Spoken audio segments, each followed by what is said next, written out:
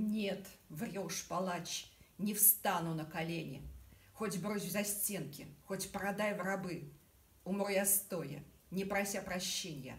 Хоть голову мне топором руби. Мне жаль, что я тех, кто с тобою сроден, не тысячу, лишь сотню истребил. За это бы у своего народа прощения на коленях я.